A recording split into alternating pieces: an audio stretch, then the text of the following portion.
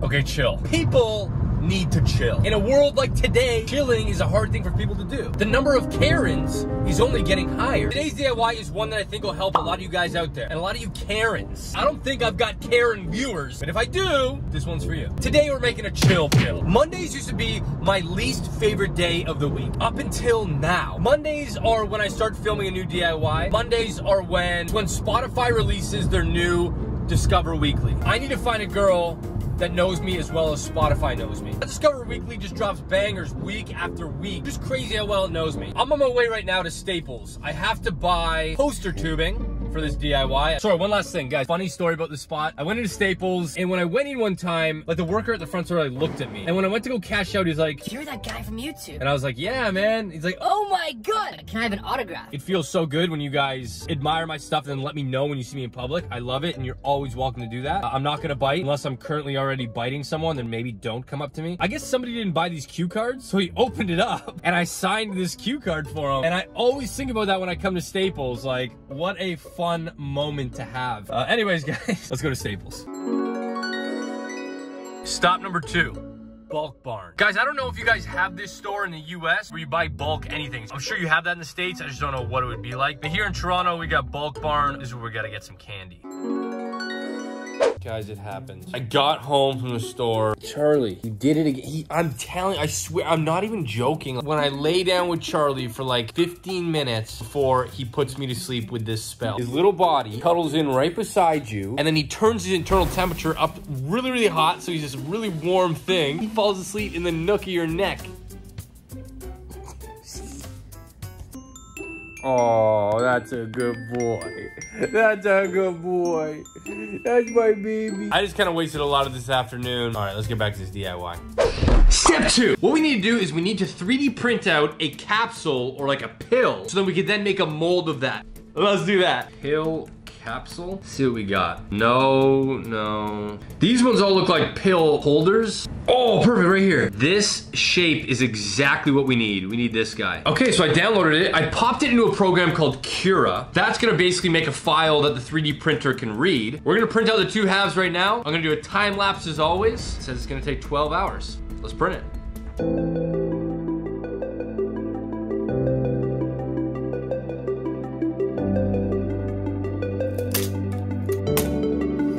And 10 hours later, we got this guy. One half is hollow. This one still has the supports in it. It just pops together like this, like that. We really need to sand it, get rid of these lines. The tops didn't really finish all that nice. So we're gonna sand that, try to get this as smooth as possible. Narrator Dan in the house. Okay, so guys, we are doing some, hold on. Stop the video, stop the video. Ooh. What up, all you jive turkeys? Welcome to Narrator Dan's house. I just downloaded this new copyright clear music and oh, this one slaps. Oh, oh, here we go. Welcome to Narrator Dan's house. It's one jiving down. Okay, that's enough. All right, sorry guys. Uh, I'm a bit distracted here. It's been a long day of editing. I need to get back to the video. So in this process, we were actually going through all the grits of sandpaper, starting at, I believe, 150, going up to 600. The whole idea here is we want to smooth it down so there's no 3D printed lines so we can get a really good mold. Oh my God. I just ran through all of the sanding grits. So this thing is like super smooth now. You don't even feel the lines at all. Step three. For step three, we're taking our poster tube and we're actually gonna use this to make the mold. We only need it to be about here. So the pill is actually gonna suspend inside the tube and we're gonna fill it with silicone rubber. I basically am suspending the capsule with clay and it just kind of drops in and sits like that. Then we pour the silicone rubber in the side, we have a mold. Let's mix up the silicone rubber and try it out. Part A and part B. Spray this.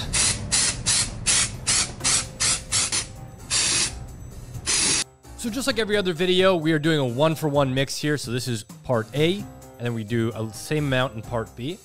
Mix it up because we only have six minute pot life, and then it cures solid in 30. And just look at the definition in that elbow skin. Mm. And you're just gonna top it up on the side. Now you wanna make sure that the, the capsule on the inside is not touching any of the walls, so you gotta pour it on both sides. In 30 minutes time, this should be finished. It's hardened enough that it is staying and it's not floating at all. One of the best things about silicone rubber when you're working with it is it looks really messy right now. Been about 30 minutes, check this out. Nope. you could reuse the cups every time because all of this comes out in one chunk. So the whole cup will just come off in one go. Oh, it's so satisfying. After it's cured in 30 minutes, we're gonna cut open the poster tubing, which is why I got it, because it is disposable. Just rip it on off. All right, that, that's satisfying. Give me that. Listen to that sound.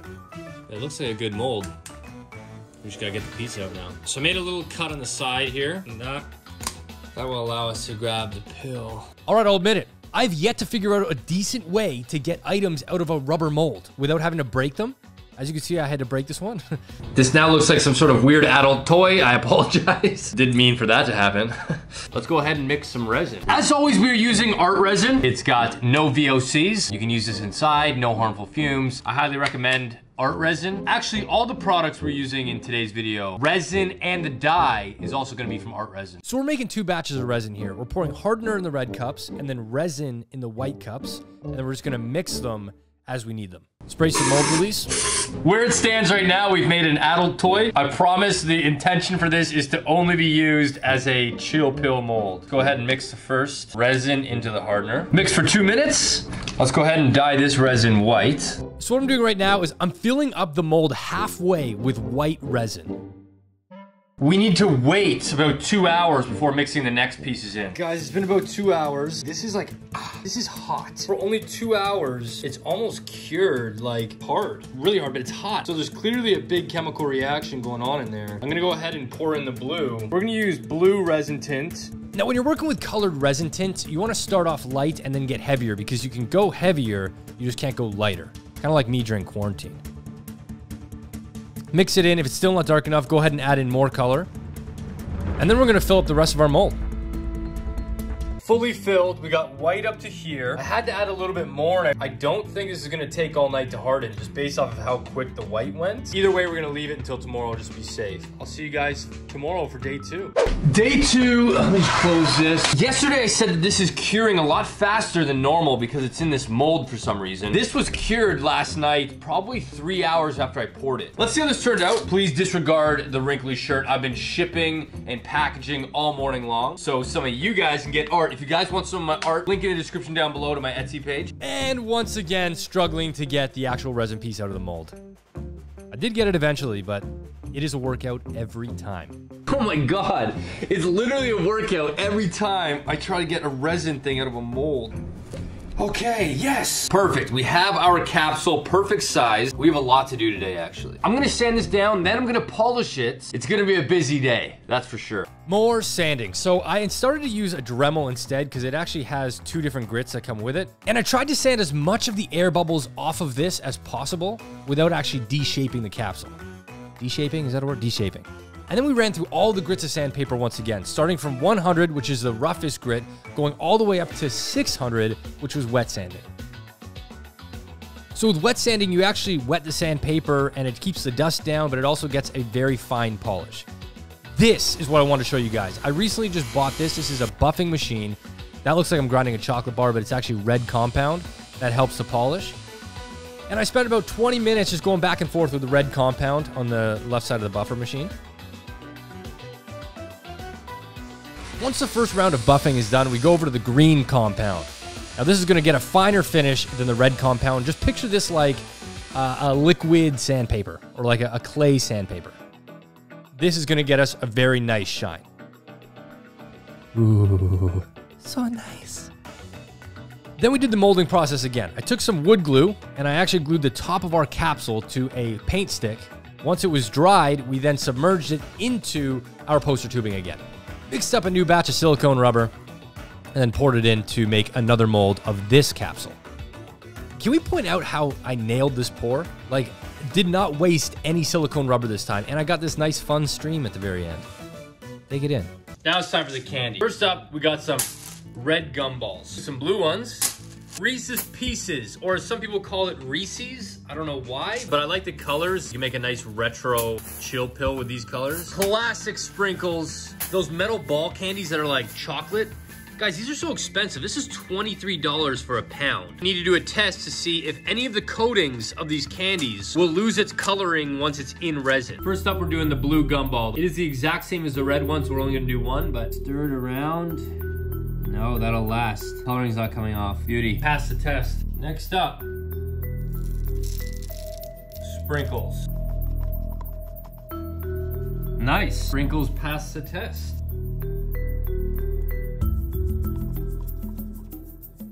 Silver balls pass the test. Reese's Pieces.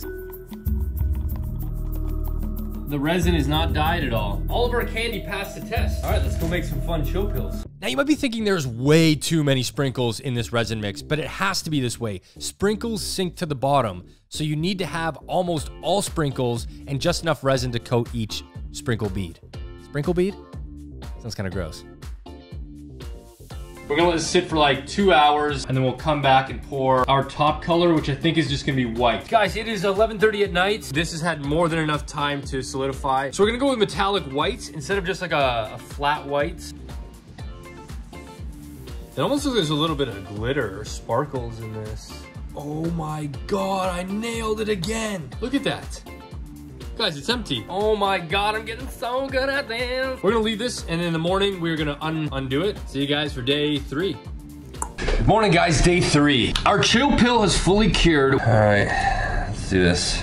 Oh, oh, this looks so good. It worked. Oh, it worked. A lot of air bubbles. We got one friggin' rogue sprinkle right here. This is gonna take a lot of sanding and quite a bit of polishing, but we're gonna get a nice clear chill pill. So let's sand it. Now, in the off chance you guys actually do this at home, expect a lot of sanding. I actually use the Dremel here because I couldn't handle doing paper sanding the entire process through again. The Dremel actually has three different types of grit on the sandpaper setting. Once I got rid of most of the air bubbles with the Dremel, I went back to wet sanding with a 400, a 600 grit, and then we ended it with a 1000 grit sandpaper, just to get it as smooth as possible.